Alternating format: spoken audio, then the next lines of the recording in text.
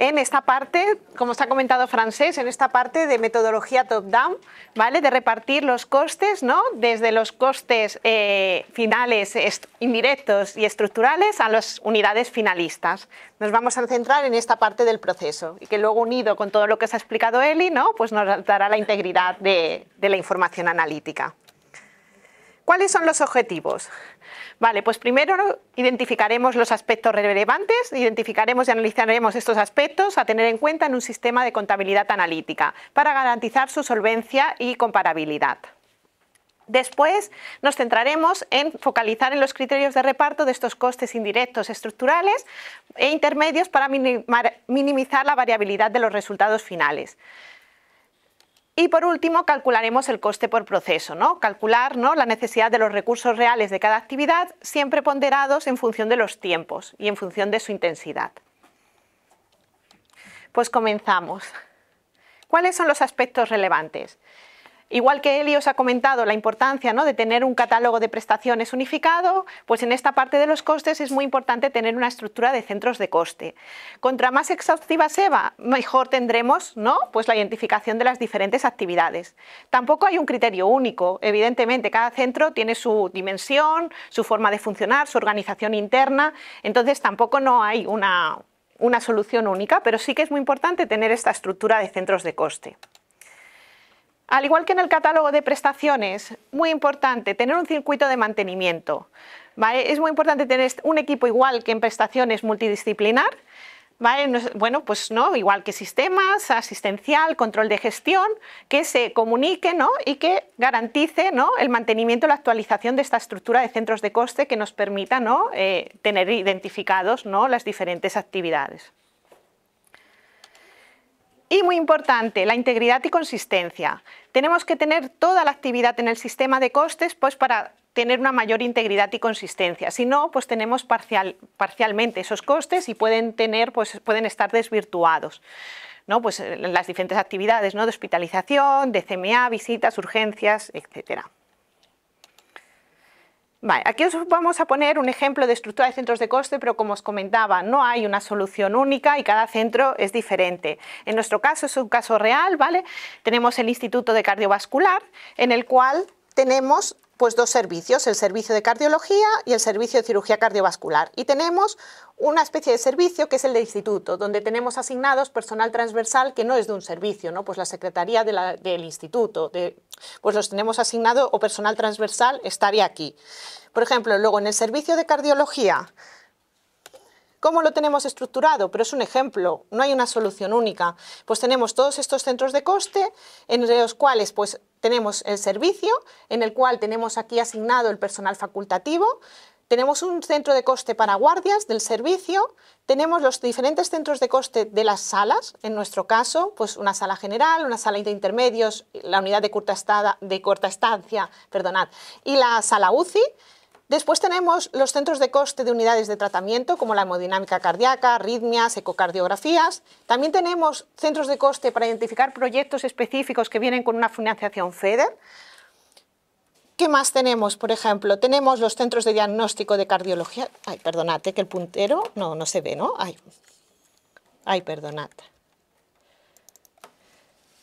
Ahora aquí el Centro de Diagnóstico de Cardiología, el Hospital de Día, Farmacia Ambulatoria, Consultas Externas y la RAE, de la Reforma Atención Especializada de Cardiología. Pero esto es un ejemplo. Cada centro tendrá su estructura de centros de coste y lo tendrá estructurado pues, de la mejor manera que le vaya para su funcionamiento. Ay, que no está... Sí, perdona, perdona, que se me ha ido. Disculpad. Gracias, ¿eh? Vale. Bueno, como otro aspecto relevante, pues como, os comentaba Francés y Eli, es muy importante disponer de todos los costes que intervienen en esta función de producción, sistema de costes totales, full costing.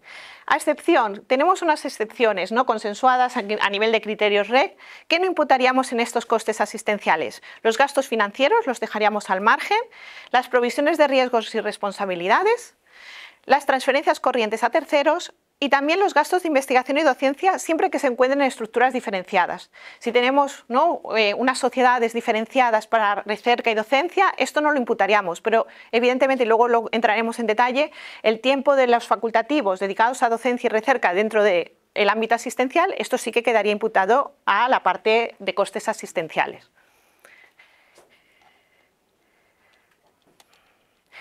Por último, pero no menos importante, ¿no? Identificar los centros de coste por tipología. ¿no? En toda esta estructura, ¿no? que cada hospital o cada centro, cada empresa tiene su estructura de centros de coste, muy importante tener identificados los diferentes centros de coste entre los que son directos, ¿no? que se pueden asignar directamente a una actividad, pues como hospitalización, en el caso de hospital, pues hospitalización, urgencias, visitas, hospital de día, pero luego tenemos los costes intermedios, que se pueden asignar a una actividad, pero no es finalista, sino que hacen actividades para otros servicios, pues como puede ser la actividad quirúrgica o pueden ser las pruebas funcionales, ¿no? que hacen actividades para otros servicios.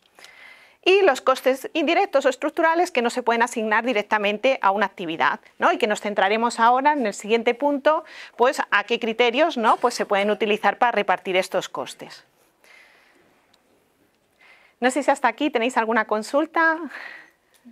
Si no, pues entraríamos ¿no? en esta parte más de criterios de costes indirectos. ¿Cuáles son los, requisitos que tiene que tener un centro de coste?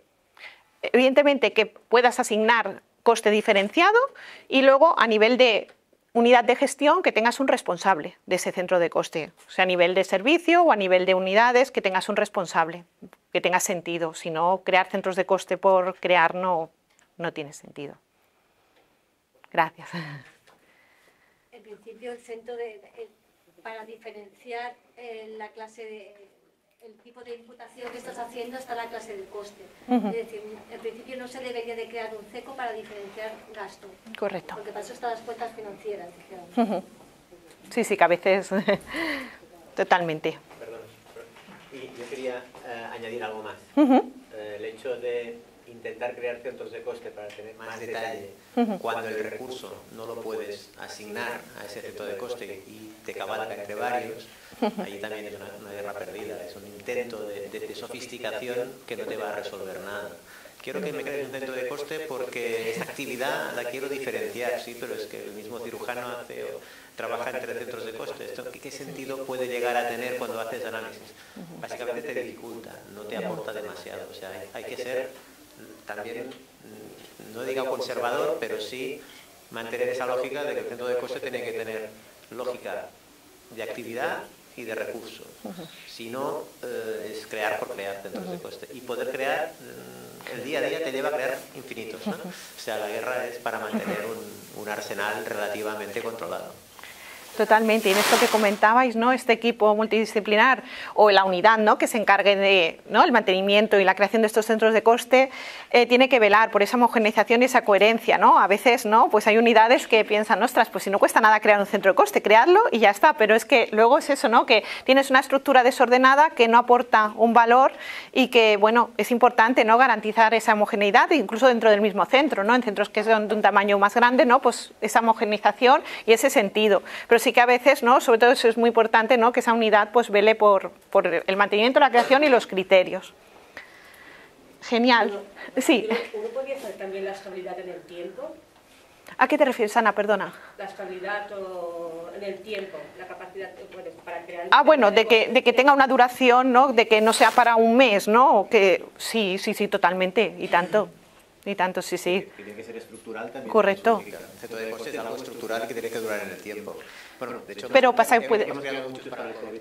Sí, es lo que iba. no, y puede haber proyectos si tienen un inicio y un fin, y evidentemente a lo mejor interesa. No, el centro de coste es un, una dimensión que nos permite analizar. Evidentemente dentro de una organización puede haber más ejes, ¿no? Pues proyectos y otros, ¿no? otras dimensiones analíticas, pero sí que también se crean centros de coste para una temporalidad determinada, ¿no? Pues como comentamos, un proyecto FEDER, ¿no? A lo mejor tiene dos años de financiación, te interesa tenerlo identificado en ese centro de coste y tiene su sentido, pero no para algo puntual de un mes, no, bueno, no, no tendría su sentido.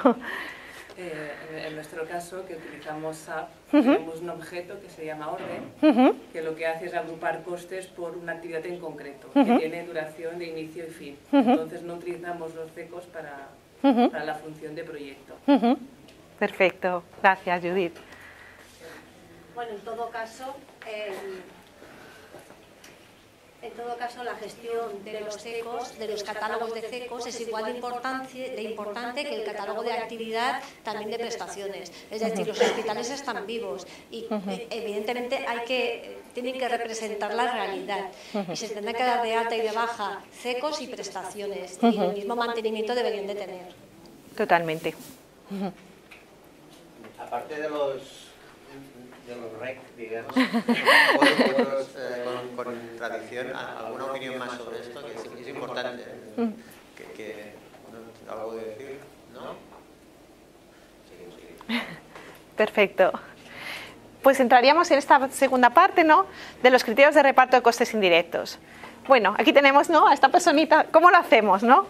Un poco como os comentaba Eli, ¿no? ¿Creéis que hay una solución única? ¿Cómo lo hacéis en vuestros centros? ¿Cómo lo tenéis estandarizado? Nos gustaría un poquito de debate, ¿no? Antes de entrar, ¿no? Pues luego el, documento lo tendréis. No sé si alguien quiere participar. ¿Creéis que hay una solución única? No como hemos comentado, ¿no? igual que en prestaciones, ¿no? Eh, evidentemente tener criterios homogéneos nos da un resultado más homogéneo, más poder comparabilidad, pero cada centro es diferente, ¿no? tiene sus sistemas de información y no tiene por qué haber una solución única. ¿No? Pues lo que comentábamos, ¿no? Cada centro eso tiene su función de la información y evidentemente no hay una solución única. Pero muy importante, ¿qué criterios creéis que tienen que tener estos, ¿no? estos drivers ¿no? de, reparto de costes indirectos? Va, un poquito de participación. ¿Nadie? ¿Creéis que pueden ser criterios subjetivos? Que hoy... que no se puedan medir? ¿No? Muy importante. Los criterios han de ser objetivables y medibles, evidentemente, ¿no? Que sean, ¿no? Que se puedan eh, estandarizar y que sean, ¿no? Pues sobre todo cuantificables.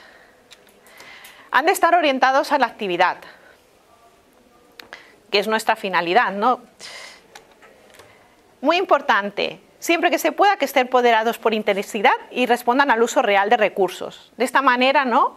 tenemos un vínculo con la parte asistencial, ¿no? porque ellos verán que el resultado de estos costes ¿no? reflejan ¿no? la intensidad o la las dificultades, la intensidad de recursos ¿no? que, para hacer esa actividad.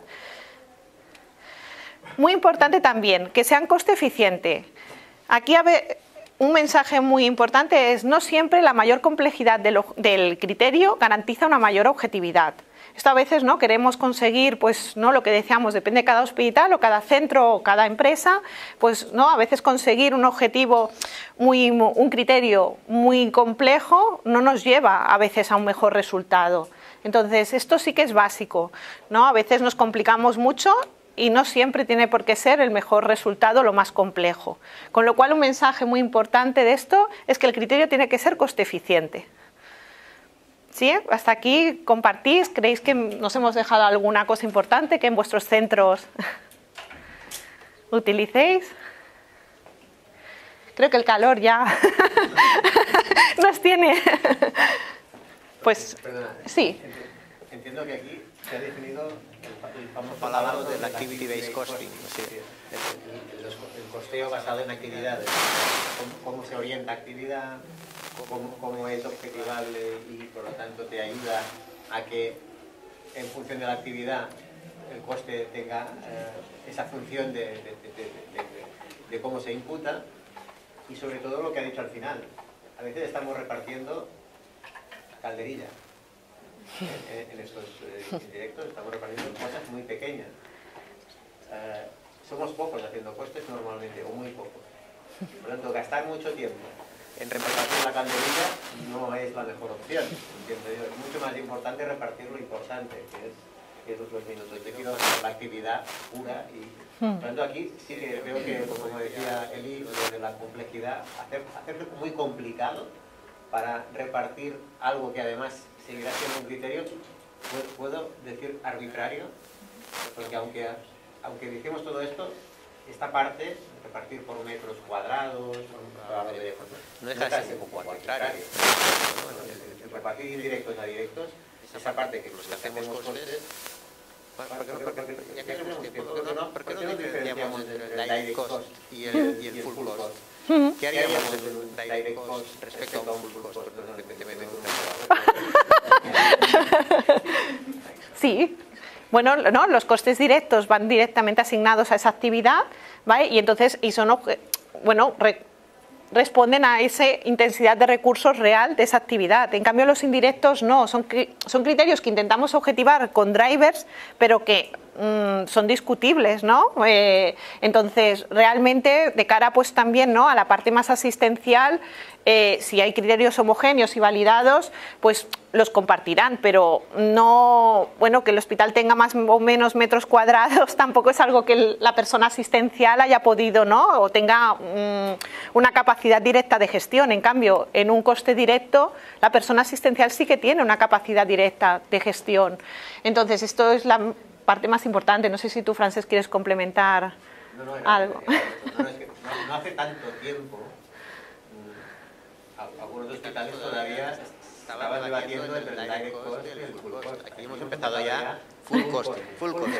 Pero claro, es una capa relativamente pequeña de costes a la que dedicamos mucho tiempo, top-down, pero y que al final tenemos que acabar admitiendo que hemos hecho un poco hemos podido, ¿no? O sea, aquello pidiendo a la, a la empresa de seguridad un poco donde, donde tiene más, eh, cuando más rato estar en un sitio que en otro, ¿no?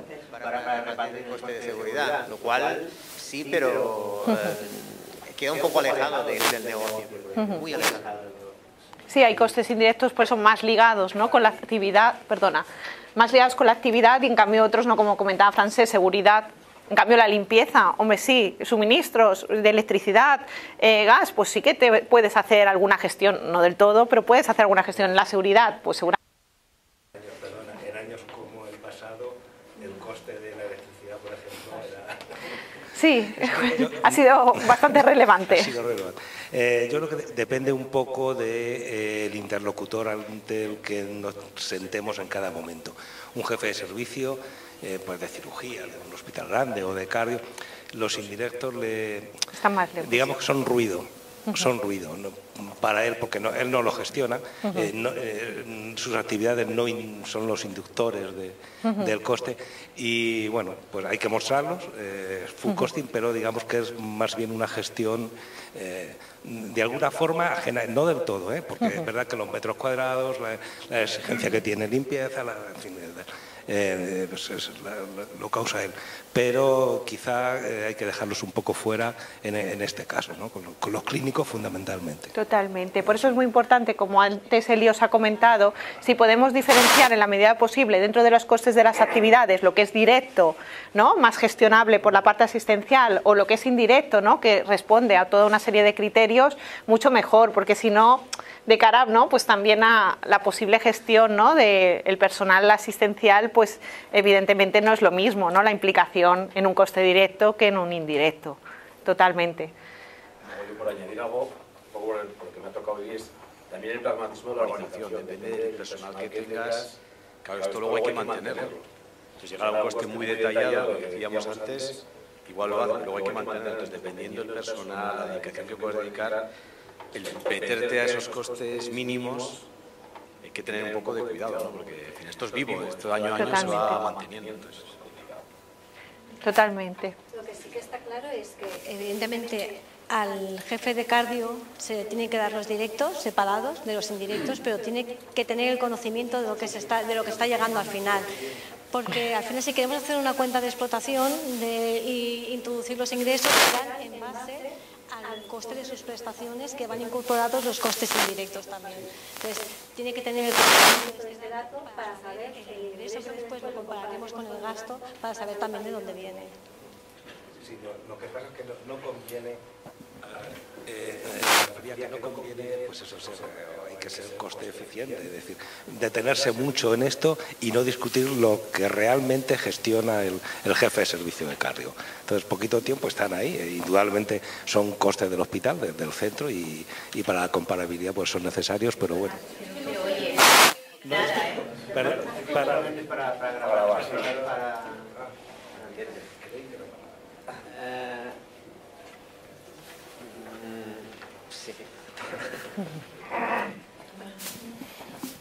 Eh, en nuestro caso, me giro así, me he visto. Eh, en nuestro caso tenemos los indirectos que sí que se reparten por criterio, pero los que son estructurales, como por ejemplo contabilidad, recursos humanos, informática, que dices, ¿qué criterio vas a utilizar?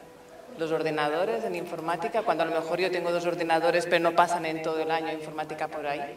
En cambio, en un laboratorio que tiene departamentales tiene mucho más recursos de informática que, se tienen problemas de reparación o que no funciona el software.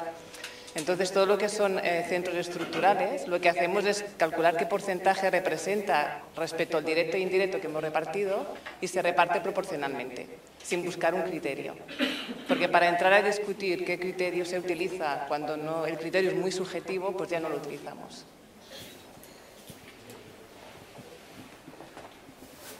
Bueno, pues hemos dejado el patio Totalmente. Bueno, yo creo que de lo que hemos estado comentando, muy importante, ¿no? Los costes los tenemos identificados, hay que focalizar en lo que, en lo que sea más importante, de mayor coste, y ahí focalizar. Y lo que comentábamos, ¿no? No hay un criterio único, lo único que sí que pues, nos permite mayor comparabilidad si intentamos homogeneizar el máximo posible.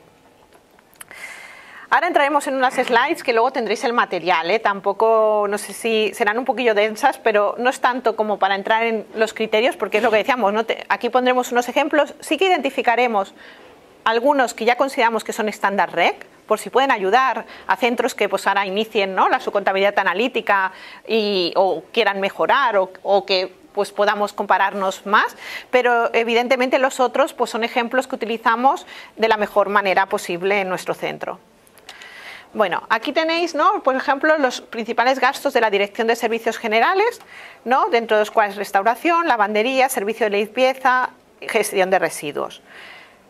Aquí, ¿no? como os comentaba, ¿cuáles tenemos ¿no? estandarizados a nivel de REC?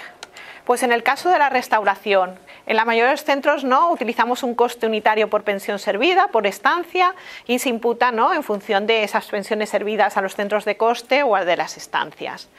¿Vale? Luego, pues no, si tenemos otros tipos de gasto, pues ya en nuestro caso los imputamos directamente. ¿Cuál más?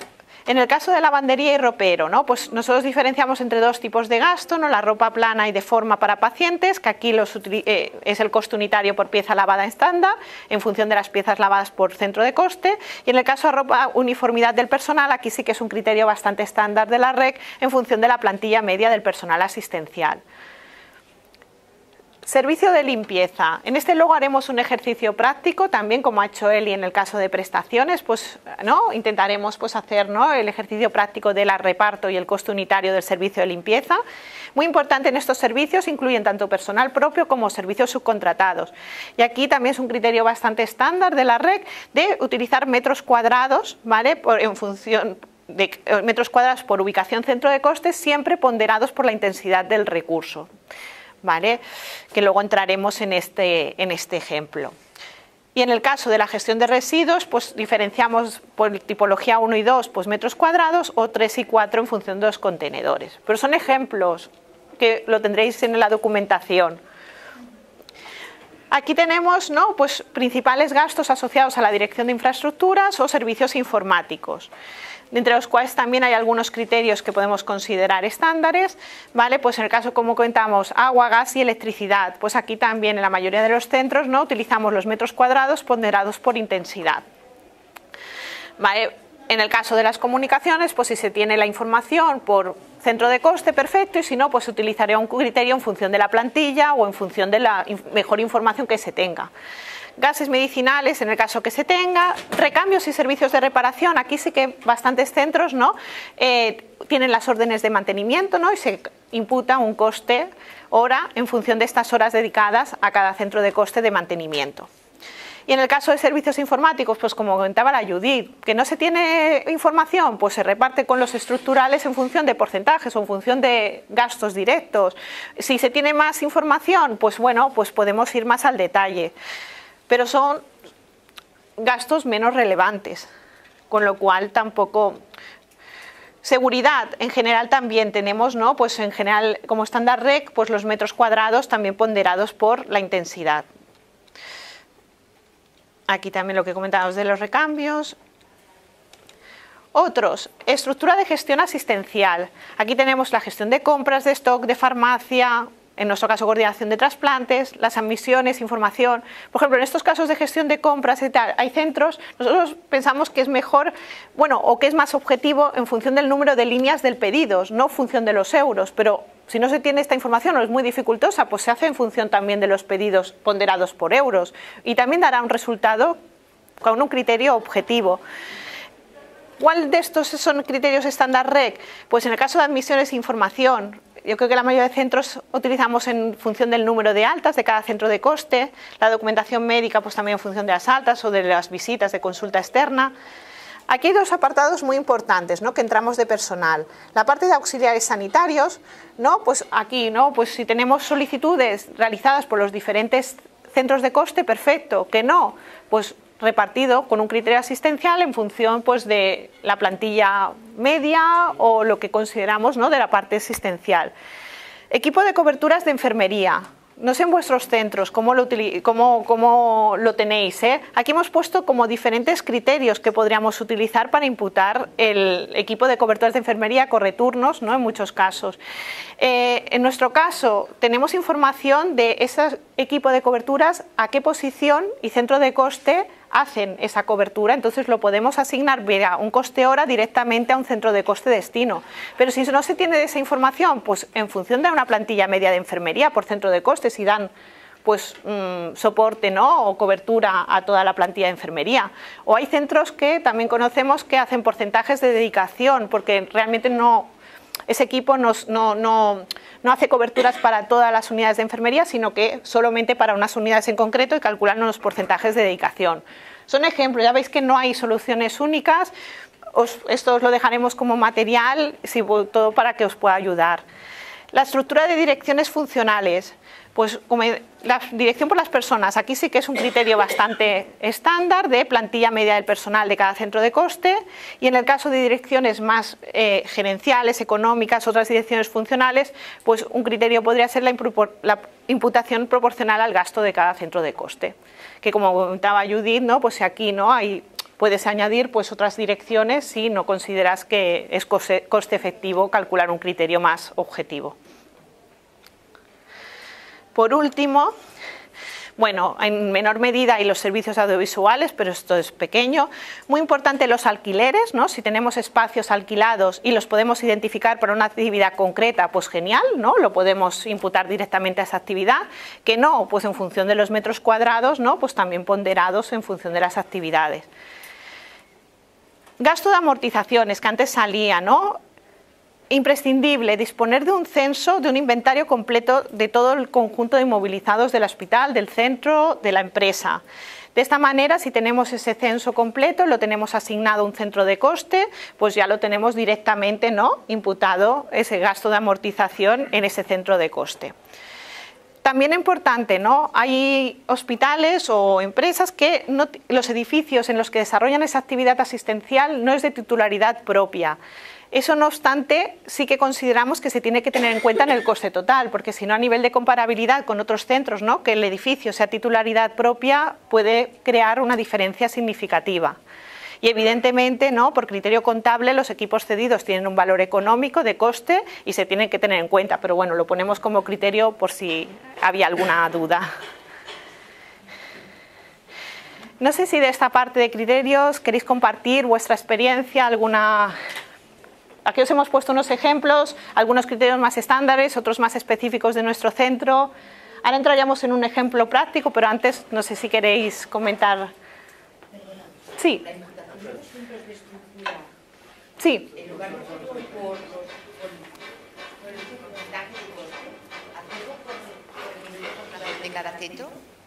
Perdona, perdona. La imputación de los centros de estructura, Sí. en lugar de hacerlo en función del gasto de cada centro Sí, de coste, sí. hacerlo por el nivel de facturación es...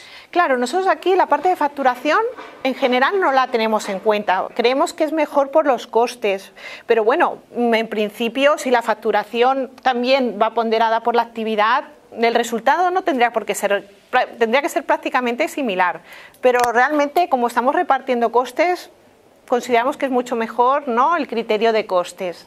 Pero como comentábamos, ¿eh? tampoco es que haya un criterio un criterio, no sé el- si el resto opina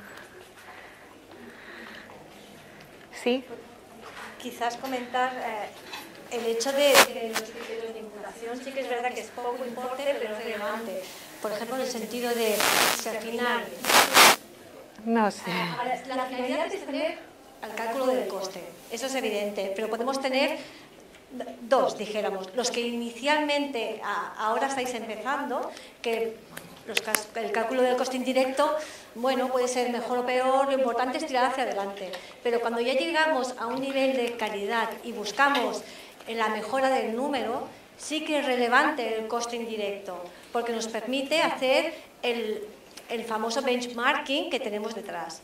Si calculamos el coste de la catarata, es evidente que como coste directo ya sabemos todos lo que nos va a caer, ¿eh? la prótesis, el facultativo, el coste de servicio de, de oftalmo, pero si nos queremos comparar entre nosotros cuando lleguemos al REC, por ejemplo, eh, tenemos que compararnos con el 100% del coste.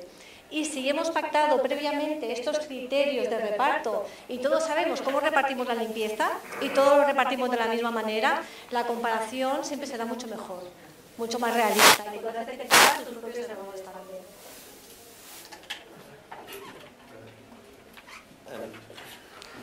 Y la parte de amortizaciones, que conste que hasta hace muy poco, ah, bastantes hospitales en España que hacían costes no, no incorporaban el inventario. Venían de contabilidades presupuestarias, eh, la parte de inventario no era necesaria o obligatoria y por lo tanto se prescindía. En, en un hospital con baja tecnología y hace unos años podía no artefactar muchísimo el resultado. En los hospitales actuales, no introducir bien la amortización y sobre todo los equipos médicos es prácticamente no hacer contabilidad analítica. O sea, no, no- hacer contabilidad analítica de hemodinámica sin, sin saber el impacto de la maquinaria sobre el, coste de- de- de- del, del cateterismo.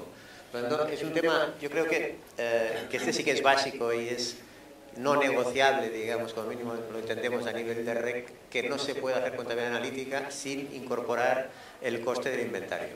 Que luego la forma de, llevar el coste de la amortización al, al coste final puede venir por los criterios de amortización contable, que ya sabemos dónde llegan, ¿no? O, o qué finalidad tienen. Que a lo mejor sigues, tienes una amortización a, a cinco años y el, y- y el equipo en cuestión a los 20 sigue de buena salud. Eh, y por lo tanto a lo mejor ya la amortización ya no está siendo la correcta y debería ser siempre a, a valor a nuevo. Y esto sería, tendría que ser otro criterio y que, como decía Eli, ya llegaremos a la perfección. Pero mientras tanto vamos caminando, ¿no? Y por lo tanto, pero pero a- a añadir todo el coste del, del inventariable, tanto de equipos, sobre todo cuando son equipos cedidos, que no me cuesta nada, si me lo, si me lo ha llevado, la, no voy a decir nombres, me, me- me lo ha puesto aquí gratis, eh, Menganito o Fulanito, te lo habrá puesto gratis, pero ¿cómo vas a comparar tu coste con otro si el otro lo ha, pagado el equipo y tú eh, representa que lo tienes gratis? Bueno, ya sabemos lo que significa. Eh, pero, eh, perdón, luego, pero luego también hay que ver ese gratis a lo mejor significa que lo pagas absolutamente todo por fungible, que no estés contando dos veces. O sea, que to- to- todo esto tiene sus, contrapartidas y sus necesidades de, pensarlo bien. Pero que la amortización se ha convertido por la tecnificación en algo básico en la contabilidad analítica, sí. Que no lo era hace unos años, pero ahora sí. ¿no? Totalmente, totalmente. Sí, sí, lo que comentabas, ¿no? Ahora cada vez más, ¿no? Hay fungible, ¿no? Que incorpora, ¿no? La cesión del equipo. En este caso sí que ya con el coste del fungible quedaría incorporado, ¿no? No tendríamos que incorporarlo adicionalmente. Pero sí que es muy importante porque digitalización y tecnología, ¿no? Va al alza y evidentemente es un coste importantísimo. No, perdón. perdón. Sí, tanto. No, yo trabajo en cáncer, ¿eh? pero una... Hola. Hola. Eh, no, trabajo en cáncer, ¿no? Y todo con el tema de radioterapia. Eh, siempre, bueno, es un, un, coste altísimo, ¿no? El tema de los equipos, ¿no? El coste de los aceleradores, ¿no? Lo que pasa es que ahora estaba viendo que los contratos nuevos que hay de Varian y de, de las empresas que suministran los equipos, parte de los equipos vienen incluidos en los, en los contratos de mantenimiento. Entonces, hay unos accesorios a las máquinas, las máquinas sí obviamente, ¿no? El acelerador lineal no va a figurar, ¿no? Como...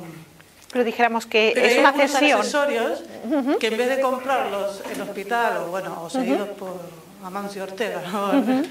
eh, figuran como dentro de los contratos de mantenimiento. No sé si son leasings o no sé la forma legal. Como un dato de riesgo, ¿no? Como un dato de riesgo o que tendrán una serie de componentes. Pero sabía que, por ejemplo, porque cuando calculamos 10% de mantenimiento anual, a veces hay cosas que... Que ya entran ahí en la reposición en el caso de que... Claro, era una duda, ¿no? a ver, ustedes si, cómo lo resolvían. Sí, no me digas de usted. eh, no, en principio... ah, vale, gracias. no, en principio, a ver, aquí hay dos cosas, ¿no? El, la compra del equipo, ¿no? Si se y lo que es la, el mantenimiento anual. A veces en el mantenimiento anual sí que hay ¿no? Eh, el todo riesgo o, parcial riesgo, ¿no? que incluye toda una serie de componentes y que ya pagas un mantenimiento superior por ¿no? la reposición de determinados componentes. Pero la compra, o sea, no, yo creo que en mantenimiento, disculpad, ¿eh? yo diría que en mantenimiento la compra no la he visto, porque en principio si no sería como un tipo renting, que entonces, ¿no? Como renting. Lo importante es no duplicarlo. Correcto, ¿no? Sin el renting, si pagamos un alquiler renting, ¿no? Y ya es anual, pues ya es como si fuera la amortización con todo incluido, ¿no? Mantenimiento, alquiler, reposición, etcétera. Eh, no sé, yo... Es que Varian no hace mucho eso. Yo también me encuentro que a lo mejor tienes pues iridio incorporado allí, tienes, aparte del mantenimiento, una parte de los componentes. Entonces, claro, has de tener en cuenta que ese mantenimiento tienes una parte de otras cosas. Pero que es correcto, hay que imputarlo. Sí, pero sí. no es mantenimiento en sí como lo entendemos del mantenimiento correctivo sino que incluye reposición de determinados componentes, sí, ¿no? es verdad, y Varian lo hace mucho, tiene unos mantenimientos muy altos, pero supongo que el acelerador en sí te costará menos. Eh, no, te, no sé contestar. Aquí tenemos. no sé, Joan, tú que eres experto también en la parte del.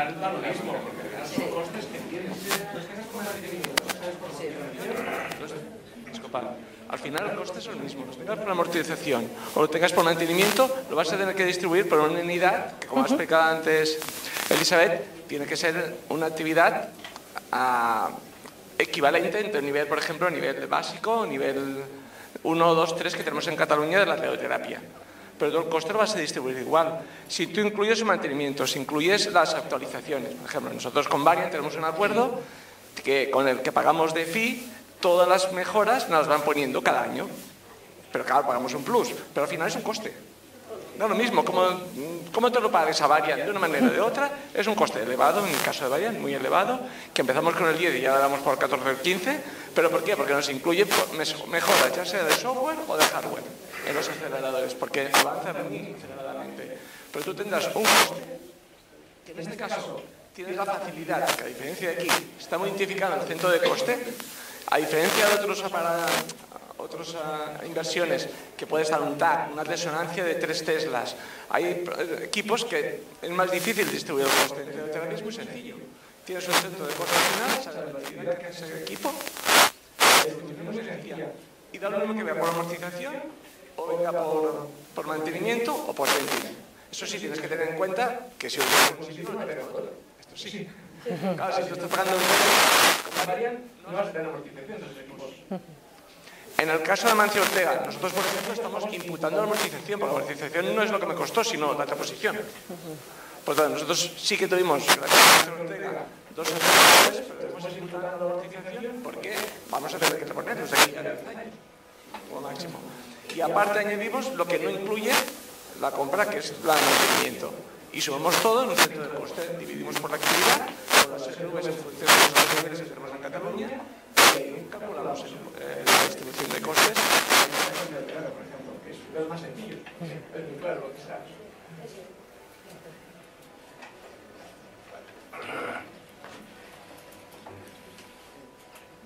Perfecto. Gracias, Joan. Sí, pues si queréis seguimos. La idea sería hacer un ejercicio práctico y similar a lo que os ha hecho Eli con, ¿no? con el servicio de radiología y las prestaciones, pues cómo no repartir el servicio de limpieza. Aquí también hay diferentes pasos. Eh, ¿Qué información no? Eh, creéis? ¿no? Ya os he dado bueno, pistas de qué criterio ¿no? era el estándar, pero ¿qué creéis de información que necesitamos ¿no? para repartir esto, el servicio de limpieza? ¿Alguien? Levantar la manita. Sí, es que no, si no. Venga, que es muy fácil, este os lo sabéis todos. Metros cuadrados. Metros cuadrados, perfecto. Metros cuadrados. ¿Algo más, pero metros cuadrados solos o...? Horas asignadas. O inten- horas asignadas. O intens- intensidad, ¿no? Intensidad, perfecto. ¿Algo más? La factura de gasto. El gasto, ¿no? Total de servicio, que no siempre, como comentábamos, ¿eh? no siempre tiene que ser factura, sino que tienes personal propio, ¿no? Asignado, nosotros en un centro de coste, más claro, ese personal, ¿no? Con sus hemos volcado, ¿no? Al final es un, es un volcaje de información. En ese centro de coste de servicio de limpieza también vuelcan, ¿no? Hay equipos, vuelcan amortizaciones, vuelcan criterios, ¿no? De indirectos. Con todo eso, más las facturas externas, tenemos el coste total del servicio, metros cuadrados, ponderaciones. Yo creo que con esto sí podemos. ¿No? Pues sí, lo primero, ¿no? Como comentabas, ¿no? Definir los niveles de criticidad de los espacios y su, y su factor de ponderación. Muy importante trabajarlo con equipos multidisciplinares. Evidentemente nosotros, ¿no? Eh, en, en nuestras oficinas no, no, tenemos, ¿no? Con la gente experta, ¿no? Con este equipo multidisciplinario es ideal para que todo el mundo, ¿no?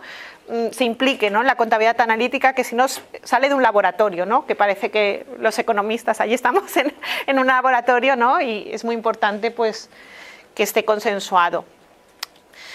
En nuestro caso, ¿no? pues tenemos cuatro niveles de criticidad, ¿vale? el no asistencial y espacios comunes, que tenemos asignado un coeficiente de ponderación de 1, el asistencial de nivel 1, que sería el asistencial más básico, ¿no? salas generales, consultas externas, hospital de día, laboratorio, áreas de diagnóstico, por ejemplo. Este tenemos un factor de ponderación de 50. Asistencial nivel 2, aquí ya sería para las UCIs, hemodinámicas cardíacas, arritmia y otros dispositivos de mayor intensidad.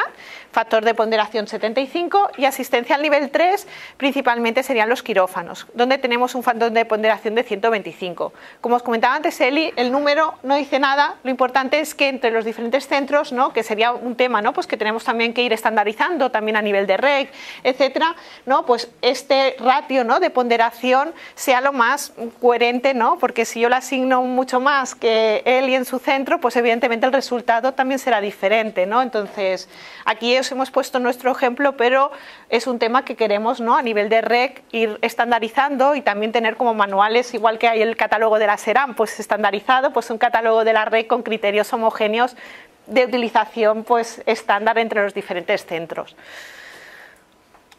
¿Cuál sería el siguiente paso? Pues aquí no Eh, disponer de los metros cuadrados por tipología y calcular los metros cuadrados ponderados, ¿no? En nuestro caso, ¿no? Pues tenemos ¿no? los diferentes coeficientes que os hemos enseñado, tenemos un total de 144.000 metros cuadrados y entonces están distribuidos entre estos niveles. ¿Cómo calculamos los metros cuadrados ponderados? ¿no? Igual que Eli os explicaba, ¿no? calcular la- el coste unitario de la URV, ¿no? de, de la unidad ponderada. Pues aquí igual, ¿no? calculamos los metros cuadrados ponderados. ¿no? Pues sería tan fácil como multiplicar, ¿no? multiplicar los metros cuadrados de cada nivel por el factor de ponderación, con lo cual llegaríamos a un total de metros cuadrados de 5.642.000 metros cuadrados ponderados. ¿Cuál es el siguiente paso? Muy fácil, ¿eh? Es igual que lo que os ha hecho Eli. ¿Sí? ¿Alguien? Si no. Lo sabéis, es calcular, ¿no? Coste unitario, bueno, ya lo sigo yo. Calcular el coste unitario ¿no? de ese metro cuadrado ponderado. ¿no? Pues en- no, cogemos todos los costes, ¿no? todos los costes que tenemos del año pasado de servicio de limpieza, en nuestro caso estos 12,8 millones de euros, Personal propio esta parte, toda la parte externalizada esta. Dentro de personal propio lo que os comentaba no solamente es el coste de personal, sino que en ese centro de coste todo lo que recae, ¿no? Pues eh, de amortizaciones, existe, de consumos, ¿no? De fungibles, de material de limpieza, evidentemente. Entonces, estos 12,8 por dividido entre los metros cuadrados ponderados, calculamos un coste metro cuadrado ponderado, que sería este 2,27 euros el metro cuadrado ponderado. Finalmente, ¿cómo asignamos? No? Pues calculamos, ¿no? igual que comentábamos antes, el coste unitario por URV, pues aquí calcular el coste unitario por metro cuadrado en función de los cuatro niveles. Tenemos los 2,27 que os comentábamos y aquí tenemos los coeficientes de ponderación. Estos coeficientes de ponderación multiplicados por el 2,27, pues en este caso daría un coste unitario de 2,27, en el nivel 1 de asistencial de 113 euros, nivel 2 asistencial de 170, nivel 3 de 283 que multiplicado por los metros cuadrados de cada nivel nos daría el reparto del coste total por estos niveles. Claro, esto es total, pero un centro de coste concreto, por ejemplo, ¿no? el bloque quirúrgico 8.1, pues tenemos estos datos, ¿no? los metros cuadrados de este quirófano son de 393, tiene un coeficiente de ponderación de 125, el coste unitario que hemos calculado es 283, ¿qué nos daría? Pues que imputaríamos en ese centro de coste 112.410 del servicio de limpieza. Es fácil, es lo que comentábamos, al final es tener ¿no? esta información, ¿no? tener esta información ponderada, pero es muy importante el mantenimiento, porque bueno, al menos en los hospitales ¿no? se cierran unidades, se abren, se cambian, entonces sí que es importante tener la integridad de toda esta información para poder pues, repartir ¿no? con los criterios más objetivos el coste. Igual que está esto, en nuestro caso, por ejemplo, los metros cuadrados están en un aplicativo, que es el Archibus, que es el que utiliza la Dirección de Infraestructuras para la gestión de los espacios. Allí se habilitaron pues, cuatro columnas ¿no? de criterios de ponderación pues, para la parte de limpieza, para la parte de seguridad, para electricidad, gas y había otro, me parece, otro criterio. Y con esto ¿no? pues, tenemos ese aplicativo que ellos ya lo tienen actualizado ¿no? por los metros cuadrados y sí que hay que garantizar que el factor de ponderación pues, esté actualizado. Pero, por ejemplo, es en nuestro caso como lo tenemos habilitado. No sé si tenéis alguna duda, alguna consulta de esta parte. Así se ve fácil, tampoco es tan complicado, ¿eh? os queremos animar, ¿no? De que... Sí, sigo.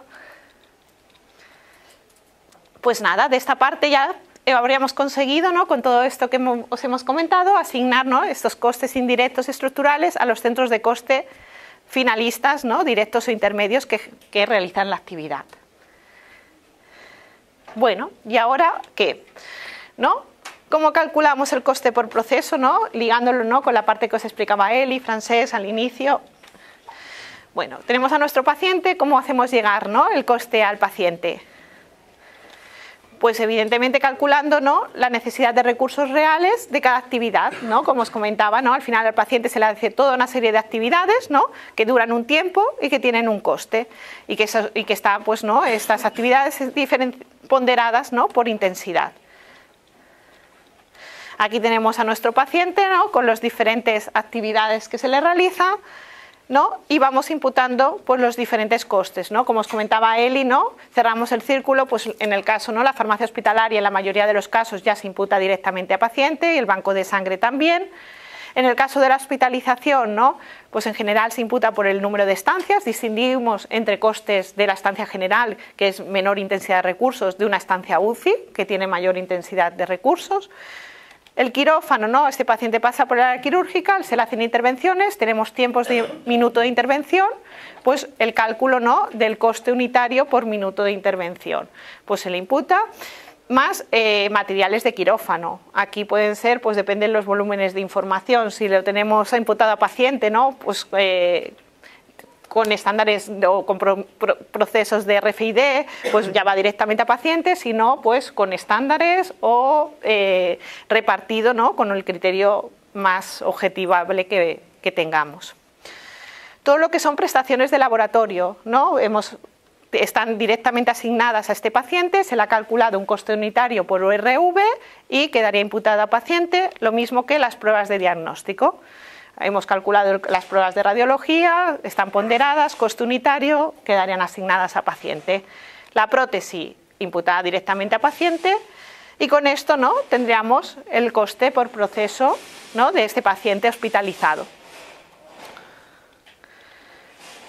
Dentro de este coste, muy importante, uno de los principales, el coste médico, ¿no? y que a veces tenemos dudas, ¿no? ¿Qué tenemos que incluir? ¿Cómo lo hacemos? ¿No? Pues aquí os queríamos comentar, ¿no? ¿Qué debe incluir el coste médico, ¿no? Debería incluir toda la masa salarial médica por servicio. En general, normalmente los tenemos asignados, ¿no? los facultativos por servicio, ¿no? diferenciados en centros de coste, pues imputamos toda esa masa salarial.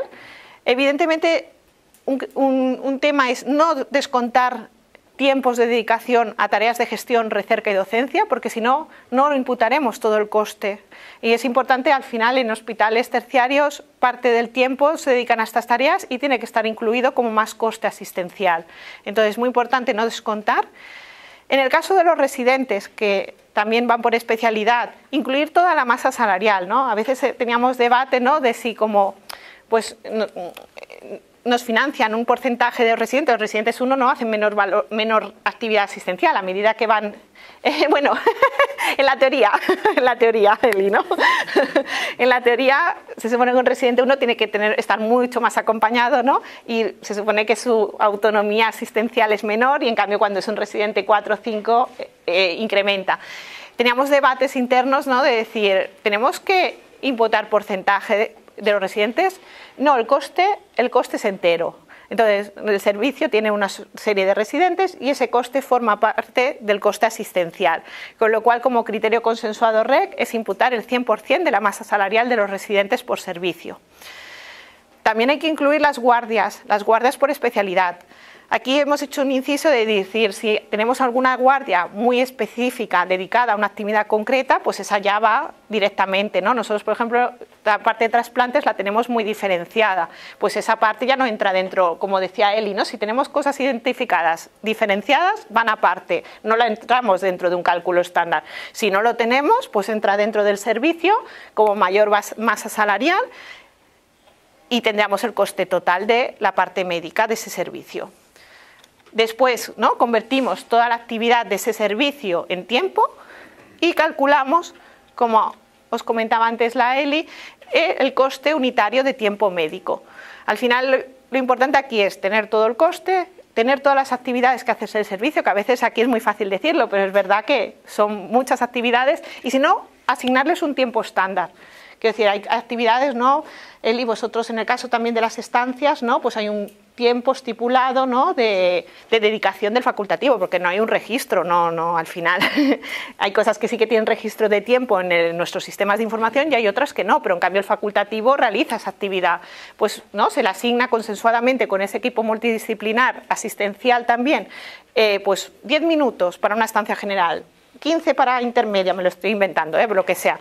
Entonces, eso al final tú tienes el registro de todas las estancias de ese servicio y calculas tiempos. Lo importante es tener toda la actividad en tiempo para poder calcular esta unidad de tiempo médico. Y a partir de aquí, pues con las diferentes URVs, prestaciones, pues lo asignaríamos ¿no? pues a las diferentes actividades. No sé si de la parte médica hay alguna duda. Ah, sí, sí.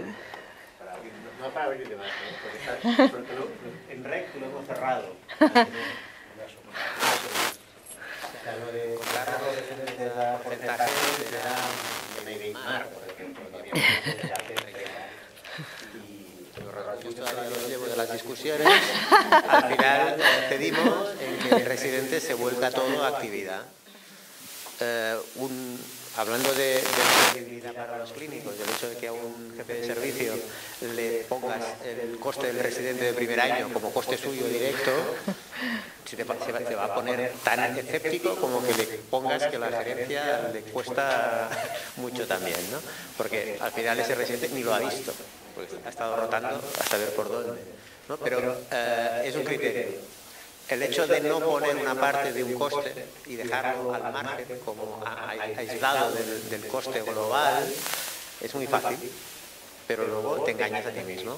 Es como un poco hacer el sin tener... ahí, como se ve, pero eh, realmente están y debes tenerlos en cuenta al final. Y por lo tanto, tú- toda esta parte de Me lo explico yo a mí mismo, como hago investigación, le quito el 20% del coste del servicio porque hace investigación. Porque como dan, hacen docencia preparan las clases, les quito una parte. Como que el residente se está formando, le quito una parte. Eh, todo esto está muy bien, pero luego no- es incomparable. Y además no es lo real, porque al fin y al cabo la financiación que necesita este hospital va ligada al coste global, no al, a- a- al coste que me he explicado yo como ligado a actividad. Lo que hemos acabado primando en todo esto es la integridad del coste global a el hecho de si es más o menos controlable. Es un poco lo del direct cost o el full cost. ¿no? Al final lo que nos importa es repartir todo el coste y que todo el coste llegue, llegue con los criterios que está hablando eh, Mónica a pacientes. pero no, no, no ir por la vía rápida de quitarlo de medio. Y por lo tanto todo esto está ahí. Podría haber razones para quitarlo, es verdad, pero eh, finalmente Este es el- un poco la propuesta, estándar de- la propuesta de... pero, pero sí que eh, Tienes, tienes la, la validez de haberlo discutido, de haber trabajado años en base a, a compararnos sin tener estos criterios bien unificados y, a- y hacerlo así, tener el problema de que ya sabes cuando no te cuadran los números con el vecino sabes por qué es, pues no lo estás haciendo igual. Eh, lo que empieza a tener ra- razón de ser es que no te cuadren los números cuando lo haces igual, entonces sí hay, razón para, para mosquearse o para, hacer cosas. Y por eso no sé si... eh, eh, pero esa parte es importante, porque aquí ya no, hablamos de Calderín, ¿eh? aquí hablamos de, de 300 residentes en nuestro caso, más un clinic, hablamos de, de- de una participación en investigación y docencia importante, que, son, que, que es mucho dinero y por lo tanto, al fin y al cabo, el coste medio de una prestación acaba, acabará eh, repercutiendo esto, ponerlo o quitarlo. Por lo tanto, en principio, la lógica, o no, no es lógica, es consenso y es práctica eh, del hospital REC sería promover que se hiciera así. Y ahora la pregunta es, para el resto del hospital del REC, pero que no habéis estado tanto en, esta, en este consenso, por decir algo, ¿os parece bien? Aquí hay bastante necesidad, ¿no? Pues entonces, no sé si cómo lo hacéis, si lo veis más o menos igual. Es complicado. porque durante, no, no, durante años eh, hay una tradición. O sea, es, en Madrid eh, tenemos unos criterios eh, eh, no homologados, pero criterios que emiten ser más. Y sí que se ha estado imputando unas pequeñas cantidades. Creo que este año, Carmen, eh, eh, andábamos el 9%. No sé. Quita, un, eh, imputábamos un 9% del porcentaje al 8 o 9, a actividad de docencia e investigación de los facultativos. Es verdad que nosotros eh, depende del servicio y lo tenemos bastante más, eh, más bajo. Incluso, bueno, pues con un consenso podríamos discutir y plantear si, si lo tenemos a cero. Porque eh, el 12 de octubre, bueno, supongo que como clínica, grandes hospitales tenemos fundaciones, un instituto de investigación que además genera crédito para eh, contratar, liberamos facultativos, se contrata otro eh, sustitu- que lo sustituye con el crédito del Instituto de, de Investigación, con lo cual ya empieza a haber una compensación y acercarse más a la realidad. Pero vamos, es un debate que yo creo que lo interesante es, consensuar criterios, elevarlos arriba y, y que todos trabajemos igual para poder compararnos, si no es, es- es difícil. ¿Alguien más? Sí.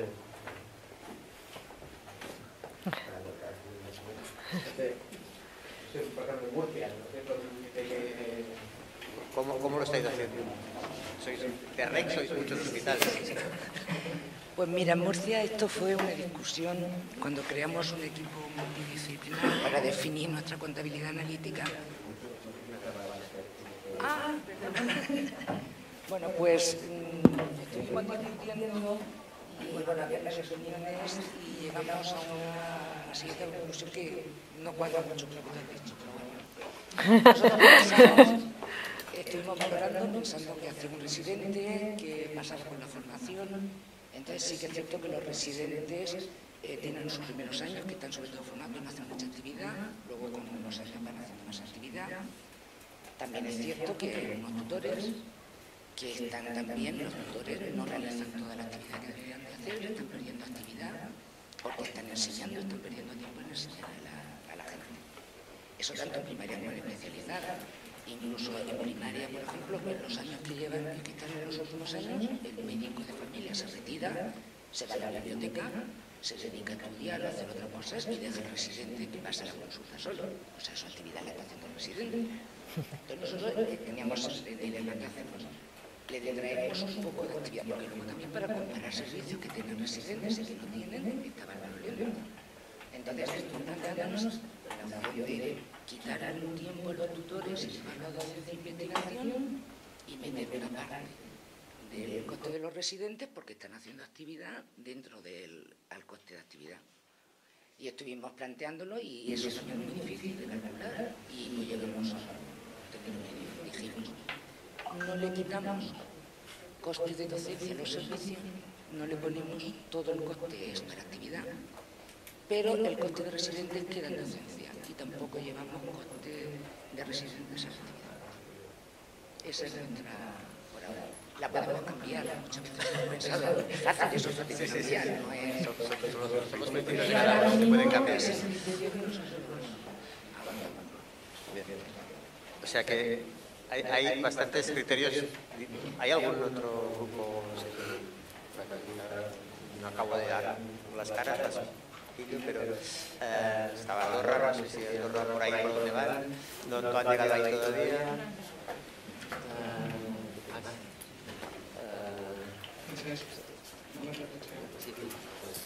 Una reflexión que teníamos nosotros en el hospital respecto a lo que es coste y no es coste. Por ejemplo, para nosotros la docencia de investigación es inversión, es más coste. ¿Por qué? Porque nuestros médicos o les deja hacer esto o se van a otro hospital. Por lo tanto, gracias a hacer esta, esta investigación y gracias a hacer esa docencia, tenemos buenos médicos y que al final hacen buena actividad. O sea, para nosotros no es un coste añadido. Como hacen ensayos clínicos, pues bueno, los dejamos o tenemos intensificaciones también nosotros, que ayudamos para que puedan hacer investigación. Esto al final... Porque gracias a liberar un médico durante un año, dos años, hacen parte o todo su, su tiempo de, de hacer investigación, incluso hacer esta, estancias en hospitales extranjeros, al final te permite la actividad. Entonces, por eso nosotros somos de full cost, porque decimos, directamente o indirectamente te percute en una mejor atención del paciente, no por dos minutos que realmente el médico esté delante de la cama. Ya sabemos que las salas, menos en el hospital, la gran mayoría de residentes. O sea, si fuéramos puristas, puristas, habría servicios que contaríamos cero de personal médico en las salas. Firmen un informe de alta y poco más. Siendo sinceros, ¿eh? Es llevándolo mucho al límite, ¿eh? Pero creo que gracias a que estas personas puedan hacer investigación y pueden hacer docencia, tienes ese talento que repercute en la mejor asistencia, de forma indirecta o de forma indirecta. O porque forman mejor los residentes o porque atiendes mejor a los pacientes con, unos tratamientos que de otra manera no podrían acceder estos pacientes. A veces es muy difícil diferenciar paciente del ensayo clínico. Tú tienes un ensayo clínico, paciente no. Paciente es un paciente que tiene una enfermedad. Por lo tanto, para nosotros éramos partidarios del full cost porque para nosotros todo el coste es una inversión en personal y por eso tenemos que repercutir esta, esta inversión. Pero es una reflexión en voz alta. ¿eh? Cuando hablamos de UTMs, entiendo que esto se va calculando dinámicamente con el paso del tiempo, porque es un poco... No es como la ORV, es más dinámica, ¿no? Bueno, claro, aquí... Varía mucho entre diferentes organizaciones, entiendo. Claro, ah, perdón, perdón, Javier, acaba. Pues es muy, hemos dicho antes que hablaba ahí es muy estándar. Aquí sí que es un poco, no sé llamarlo productividad o, o lo que queramos llamar, es un poco que puede variar mucho entre un hospital, uno pequeño, uno mediano, ¿no? Claro. Sé si vuestras si cambian el tiempo de cara a plantearte esto, que hay que mantenerlos y cambia mucho a lo largo del, de, quitando hasta épocas como el COVID, ¿no? que así habrá sido una locura, ¿no? Porque Claro, aquí tiempos y actividades, ¿con qué periodicidad no? lo hacemos? ¿no? yo creo que es un debate también, ¿no? Eh, nosotros lo hacemos una vez al año, anualmente. Eh, yo creo que en general en los centros que compartimos también es una vez al año. Ojalá que se pudiera mensualmente, ¿no? Pues calcular, pero evidentemente los tiempos y la actividad es la real del centro de ese año y puede ser diferente al año siguiente, con lo cual el coste unitario cambia. A ver, si en un, contexto mm, normal, por decir, no debería haber una variación. En los años, evidentemente, COVID, eh, esto ha sido muy complicado, muy complicado.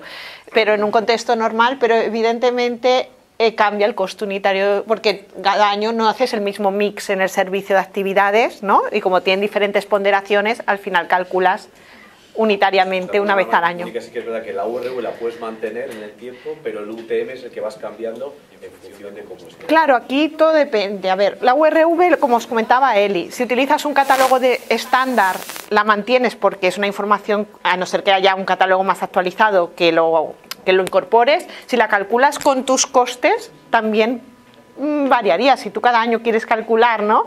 Cuánto te pesa con de esto, podrías calcular una URV anualmente ponderada. Pasa que, bueno, yo creo que es bastante complejo, complejo el tema. En nuestro caso, por ejemplo, es evidente que cualquier tipo de catálogo que se utilice se tiene que mantener y actualizar, porque si no ya no es un catálogo, no lo puedes, no lo puedes hacer servir. En el caso, por ejemplo, por poner el ejemplo que hemos puesto antes, el de la SEDA, el último es el del año 2015, que está publicado en la web. Es decir, del año 2015 a ahora han salido prestaciones nuevas. Si no actualizas este catálogo, te quedarán prestaciones sin tener peso y ya no podrás calcular correctamente el coste de la prestación. ¿Qué es lo que tienes que hacer? Revisión constante. Primero, detectar todas, todas aquellas prestaciones que son nuevas, que no tienen peso. Y lo primero que tienes que hacer es ponerlo, porque si no, no puedes realizar el 100% del cálculo. Después, las UTMs, los procesos cambian. Una técnica que el año pasado se hacía de una manera, este año puede cambiar y el tiempo médico cambia. Cambia la URB y cambia la UTM. Si no actualizas catálogos, no, se, no nos puedes hacer servir. Si estás dispuesto a hacer analítica y, a- y utilizar catálogos, los has de mantener. Cuesta tiempo y esfuerzo, sí. Pero es que todo en esta vida cuesta esfuerzo. Tienes que hacerlo. Es obligatorio. Y de aquí viene el hecho de que REC tenemos la intención, la necesidad de proponer catálogos y de buscar recursos para mantenerlos, de alguna forma. Porque cada hospital hacer este trabajo en un, en un sistema es absurdo, que cada hospital tenga que hacer el trabajo por su cuenta, cuando podría estar hecho de una vez para todos. No digo las UTMs o la productividad dentro del hospital, estamos hablando de los catálogos. Entonces ahí es una necesidad que como mínimo mm, a mí me aprieta mucho del, del por qué no hay una propuesta de catálogos a nivel nacional con un mantenimiento que a nivel nacional es poca cosa, digamos, de acuerdo con las sociedades científicas, si hace falta, para que no tengamos que ser cada hospital estar creando eh, por escandallos, ya es el sumum de la perfección, pero ni que sea modificando URBs de preta porte a nuestras necesidades porque no se han actualizado correctamente a nivel. Yo creo que esto es algo en que si vamos madurando, vamos compartiendo en foros como este esa necesidad y intentamos elevarlo a otro nivel, porque eso está a otro nivel, que, se va del hospital, se va del centro de salud, se va al sistema, de, de poder eh, llegar a eso, porque fa- facilitaría infinitamente el, el proceso de contabilidad analítica y le daría un valor añadido importante de comparabilidad. Eso es un, es un tema que creo que ha llegado el momento, digamos, ¿no? y eso también ayuda un poco, iba ligado también a esa necesidad de hacer algo más, un paso más, y no quedarse en cómo lo hago yo. Yo lo hago a mi manera, yo me lo guiso y me lo como, y luego si lo comparo, a saber qué sale. Eh, y además con el trabajo que. Y volviendo al tema de las de, la UTM, de hecho, cada uno tiene sus sistemas en su casa, sus, sistemas de información. Al fin y al cabo, los costes no son más que sistema de información, poco especializado el sistema de información. Como decía Ja- Javier, nosotros tenemos nuestro análisis de productividad continuo. Entonces es un tema que cuando cerramos la analítica utilizamos la proporción de actividad destinada a cada actividad que nos da el sistema de información de productividad tiempo que tenemos, que obliga a tener toda la actividad medida en tiempos, toda la contratación, todos los criterios de exclusión o no exclusión de, de- de- de residentes, pero también de, libranza de guardias, pero también de, trabajo en los centros eh, que, no, que, no, que no tienes actividad, pero que eh, em, de- derivas profesionales a otros hospitales eh, en los que tienes referencia. Todas esas cosas, si lo mantienes en el tiempo con un sistema, puedes luego también saber que esto está garantizado, que es homogéneo y, y- no te da saltos en el tiempo también. Eh, a ver, detrás de la contabilidad analítica, que puede ser relativamente simple, hay todo un montaje de sistema de información importante, que irlo manteniendo es complejo. Eh, y llegados a este punto, pues eh, ahora ya Enseguida. a, y media terminamos, si quieres, si dejamos acabar, estamos... Nada. no, no, si ya terminaba. ¿No? Bueno, por último, ¿no? Muy importante poner en valor el gran registro de clínico, ¿no? Como comentábamos, importante, ¿no? Contra mayor calidad, ¿no? Sean los registros clínicos, pues tendremos una contabilidad analítica más cercana, ¿no? A- y reflejará más, ¿no? Eh, las actividades asistenciales ya, entonces, ¿cómo lo conseguimos, no? Pues bueno, yo creo que en casi todos los centros y en todas las empresas, ¿no? Cada vez más estandarización de procesos, evidentemente calidad de los registros clínicos, hay estándares, hay revisiones. Cada vez más tenemos KPIs de todo, ¿no? Yo creo que eh, llegado a este punto, ¿no? Por KPIs no será en casi todos los centros, de complicaciones, de intensidad de curas, eh, de yo creo que tanto el personal asistencial de enfermería como médico realiza un montón de registros que se pueden utilizar para mejorar o para analizar ¿no? las diferentes variabilidades de la contabilidad analítica. Entonces, aquí queríamos finalizar ¿no? esta parte, ¿no? pues poniendo en valor ¿no? esta parte de registro clínico, porque da una analítica de mayor calidad asistencial, de mayor valor, ¿no? y nos permite pues, explicar, explicar variabilidades que podamos tener dentro de las diferentes actividades o de los diferentes centros y queríamos acabar con, con esta parte que es muy importante. No sé si aquí, pues, si tenéis alguna duda. Yo quería, Sí, sí, tanto. Hemos hablado mucho de este, del médico. La enfermería. O sea, eh, ¿cómo llega el coste de la enfermería por, por curas, por, ponderado por, por curas o carga de curas al, al enfermo, a la estancia? Vosotros también tenéis un sistema más o menos sofisticado que, que, que, que- que va por ahí, ¿no? Eh, o, o- lo, lo transportáis de la analítica de momento? No, no. Nosotros aquí lo que tenemos es la parte de enfermería por salas, ¿vale? Que la sala general ¿no? No, está, eh, no tiene la misma dotación que las intermedias o las intensivas. Y estos, todos estos KPIs ¿no? nos ayudan a analizar, ¿no? Tenemos por paciente y nos ayudan a analizar, pero no tenemos incorporado en un coste unitario ¿no? directamente a pacientes, sino que nos da más explicación. No sé vosotros, francés, si lo tenéis incorporado. Yo antes de responder, quisiera saber si alguien ha hecho un paso más y la, el, el- la prueba de enfermería las asigna a, a estancia ponderados por, alguna, por algún criterio de carga de curas. Nadie todavía, ¿verdad? Todavía no. No, no se incorpora. Existe información, nosotros estamos trabajando en ello, de carga de trabajo, de área de hospitalización, de cuidado, y estamos pendientes de incorporar, pero sí hay registros de, de la actividad ponderadas. Yo como, como tengo aquí a la directora de enfermería del hospital, y ellos tienen registros impresionantes, pero que están ocultos, digamos, para, no, porque no hemos sido capaces de incorporarlos. Entonces, sí, estamos, estamos en ello, estamos en ello. De llevar la, la- la ponderación por carga de enfermería con los super registros que hay, de trayectoria, etcétera, a no, a no repartir por días de estancia, sino repartir por carga de enfermería y ponderar. Pero eh, sé que vamos tarde y que tenéis información de hace mucho tiempo, pero ya veis que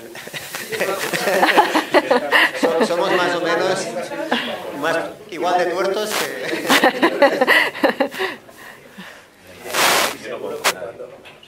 Yo personalmente de los que he estado no conozco a nadie que lo haga. Si llegas a distribuir la enfermería por un- una aplicación de tareas de enfermería donde puedes distribuir realmente cada día donde va el personal en lugar de un pool que lo repartes por estancia, eso es un avance muy grande. llegar a las cargas, la base, todas las tareas que hacéis, yo no he visto a nadie por lo menos. Porque es, es que sea complejo, es fácil, lo que pasa es que volumen de información es muy elevado. Hay que agrupar bien las tareas que hacéis, porque esto es muy, muy detallado, una estación, un curso clínico, registréis de todo, pues claro. Hay que ser muy, muy organizado, agrupar muy bien y habría que estudiarlo bien. Lo que he visto es distribuir eso, si distribuir bien la cada día a partir de una aplicación de tareas de enfermería que te genera una distribución automática, eso sí. Lo otro ya yo creo que son palabras mayores. ¿eh?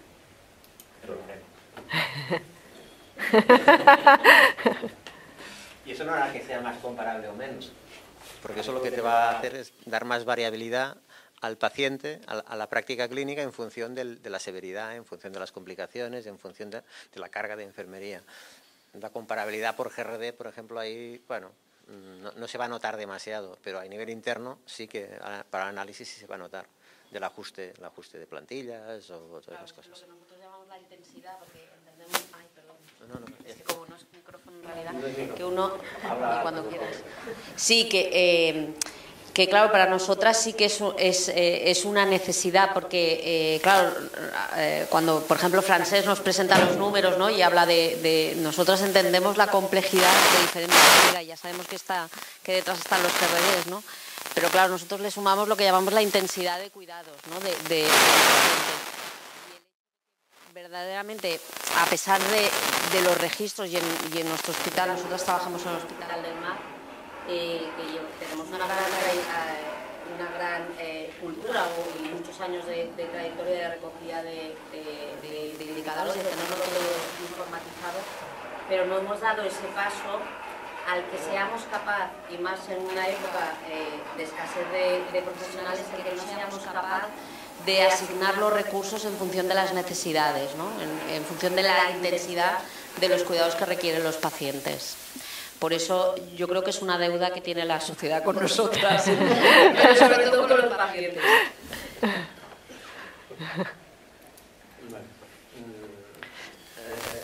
Sí, sí, aquí. Ah.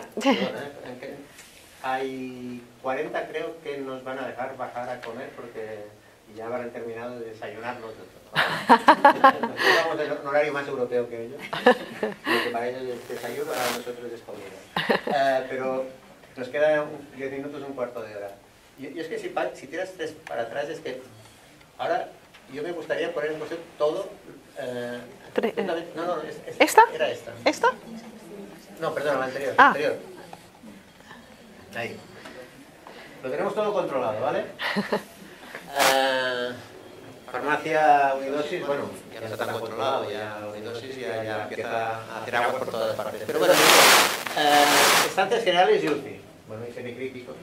Y cada cama tiene una dotación hmm. distinta. porque porque eso hacemos dicotómico UCI y estancias? Cuando tiene cada, cada, hay múltiples niveles de, de, de cargas de, de, o de, de, criterios o de, ¿cómo, ¿cómo lo llamáis? pero el número de, enfermeras por cama, el, ratio, el ratio, hombre, el famoso ratio. Eh, el, ratio cambia y tienes, tienes coro, tienes semicríticos eh, neurológicos, semicríticos, y cada uno tiene sus cargas. Y, estamos, de alguna forma, anclados en un pasado de separar solamente convencional de UCI, ¿no? En nuestro caso tenemos diferenciado. No, no, pero eso que, que, una cosa es la etiqueta y otra es la realidad. ¿eh?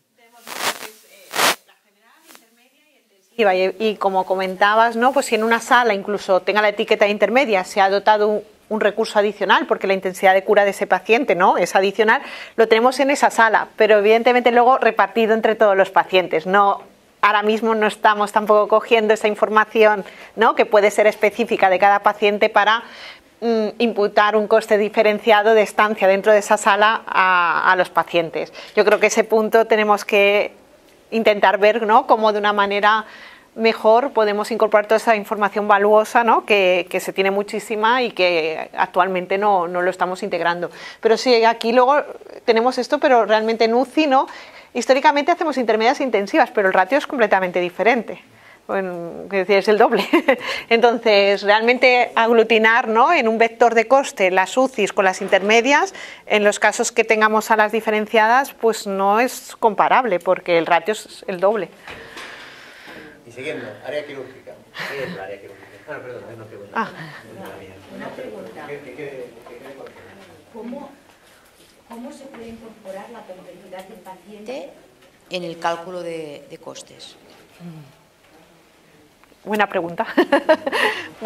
No, no, no, no lo tenemos ahora mismo incorporado, pero evidentemente si tenemos información, al final son ponderaciones que puedes hacer para repartir, ¿no? Yo me estoy imaginando, ¿eh? y esto no está implantado, pero con toda esta información de registros de KPIs, puedes hacer una ponderación por las diferentes pacientes en, tu, en el año, ¿no? Has tenido todos esos registros, ponderas las estancias con ese nivel de complejidad o de peso, y entonces calcularías un costo unitario mm, ponderado. Me estoy imaginando que podríamos de esa manera, ¿no? Pues imputar en lugar de un coste unitario estándar por sala, un coste unitario ponderado por cada paciente, bueno, no sé si paciente, sí, paciente, yo creo que sí, episodio eh, en, el, en el coste final. No sé si me he explicado, ¿eh? Dijéramos, ¿no? Si tú tienes a todos los pacientes estos registros de actividad, ¿no? De complicaciones, pues en los pacientes complicados, ¿no? Con, bueno, consensuadamente, pues, no sé, con un factor de ponderación, pues si el complicado es 2, pues estoy imaginando un factor de ponderación y el no complicado es 1, pues al final calculas las estancias ponderadas de esa sala por los pacientes y le aplicarías el doble de coste, por ejemplo, a los pacientes complicados si la intensidad de curas es el doble.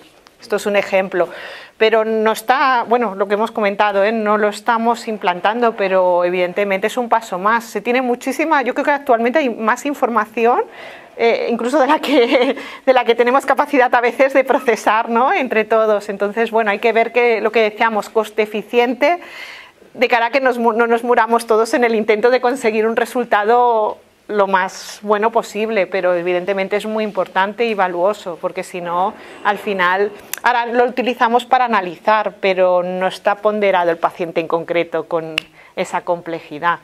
No sé, esto es un ejemplo, lo he hecho en vivo, no sé No, no, si sí, hay... sí, no, pero es que eh, que estaba, ella estaba pidiendo, eh, me estaba diciendo de, de vías clínicas, perdón, me estaba diciendo de vías clínicas y, de- y de la, y, y del, y del registro de todas las, la- la- la- la- las acti- actividades enfermeras sobre el enfermo, esto ya te da un nivel de, un nivel de carga de, curas. Por, por tanto, a partir de ahí ya tienes una parte de la seguridad, una gran parte de la seguridad eh, incorporada en la atención al paciente. Al fin y al cabo, el médico que hará, ordenará más cosas. Si ordena más cosas, si ordena más pruebas, y eso ya lo tienes. Es la parte, yo creo que la parte oculta es contar que cualquier paciente que está en una misma unidad, cada día eh, cuesta lo mismo. Sin, verla, no, ponderar, ponderar sí, porque lo acabas ponderando, pero por una información lo más real posible. Y estamos a, puertas de ello. Yo creo que, que el, que el problema que tenemos con la contabilidad analítica, como con todo, es que nos aferramos, entre comillas, a, a retos de hace 20 años y queremos conseguirlos, ¿no? Y, y- y hay otros retos mucho más nuevos que la- los sistemas de información nos permiten y, la- y- los sistemas de información hospitalarios nos permiten llegar, pero que porque a lo mejor no somos suficientemente multidisciplinares a la, a la hora de plantearnos el, el tema, no tiramos por ahí.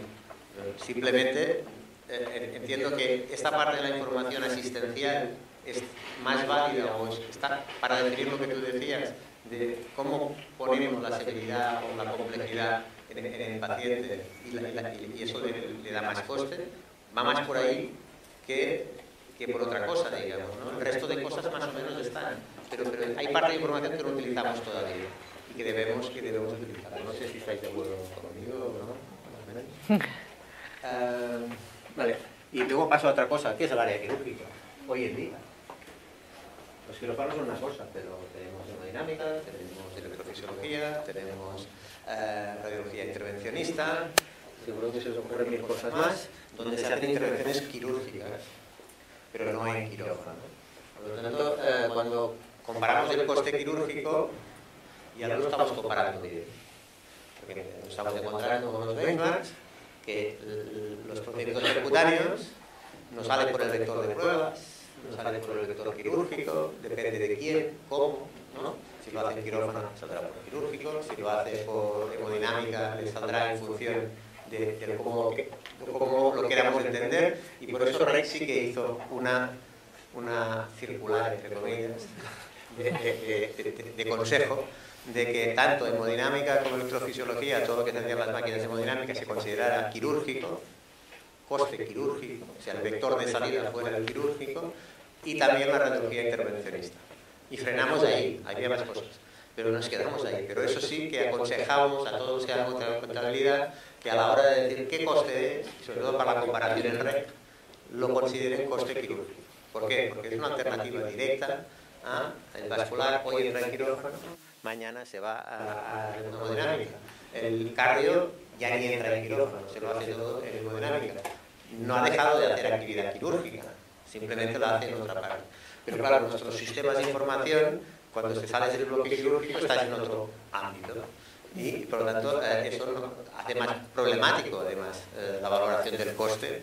Y por lo tanto, eso hay que tenerlo en cuenta. Simplemente hay que tenerlo en cuenta e integrarlo de alguna forma. Eso en su momento nosotros aconsejamos o pedimos, no tanto cómo lo calcule cada uno, sino a la hora de comparar, a la hora de cargar costes del REC, lo de la tarde, que se cargan 10 vectores de coste, el, el, coste de la, del intervencionismo fuera de quirófano, en la medida del posible, se considerará como más coste quirúrgico. Aquí también fue un tema de debate, ¿eh? como los residentes, de debate y de consenso, porque realmente aquí, ¿no? lo que comentaba Francés, al final es un tema de comparabilidad, que evidentemente hay que establecer unos criterios, pero que justamente que un, un centro lo haga en una determinada unidad o en otra puede justo explicar variabilidades. Entonces aquí yo creo que es un, también un reto ¿no? de futuro de ver, pues, ¿no? a lo mejor a nivel de comparabilidad tienen que estar sumados, pero sin perder la información origen, ¿no? de si en un centro pues, se realiza manera quirúrgica o en una unidad de dinámica, ¿vale? Por el hecho de que pues, los costes unitarios pueden ser diferentes y ayudan a explicar. Yo creo que aquí, bueno, al final es lo que comentamos, ¿no? Hay eh, retos, ¿no? Que tenemos que ir mejorando y que nos tienen que ayudar a todos, ¿no? A, pues a analizar la información y, y a poder ¿no? dar respuesta a variabilidades que tengamos en los diferentes centros. ¿Alguien más? ¿Un comentario más? Hemos terminado por esta mañana. Así, por favor. Eh, solamente eh, recordar que en el grupo REC lo que intentamos es tener este, precisamente este foro de discusión, porque como hemos repetido en varias ocasiones durante toda la mañana, la discusión es buena porque te ayuda a crecer, siempre y cuando no se llegue a las manos, pero, pero te ayuda, te ayuda a crecer. Eh, entonces, el hecho de poder juntarnos en tantos hospitales, discutir en torno a una, un debate en concreto y conseguir consenso entre estos hospitales tan diferentes entre sí, como son un Clínic, un Mar, un Vallebrón, un Viladecans, un Santa Creu, eh, estamos consiguiendo, yo creo que una cosa muy bonita, muy útil para todos en general y creo que no deberíamos eh, aprovechar en la medida de lo posible de, estos foros, porque hay ganas de hacer analítica, lo vemos hoy en la, sala que tenemos eh, precisamente, hay muchas ganas de hacer analítica, hay ganas de hablar analítica, tenemos pocos foros para hablar analítica y bienvenido sea cualquier foro de este tipo que nos permita avanzar en, en este proceso. Um, podemos ir a comer. Eh, no, se trata de, de, vamos temprano, o sea, yo mantendría la hora de inicio, o sea, ¿cuál era? A las dos. A las dos, pues mantendríamos las dos para que tengamos tiempo de hablar ahora sí.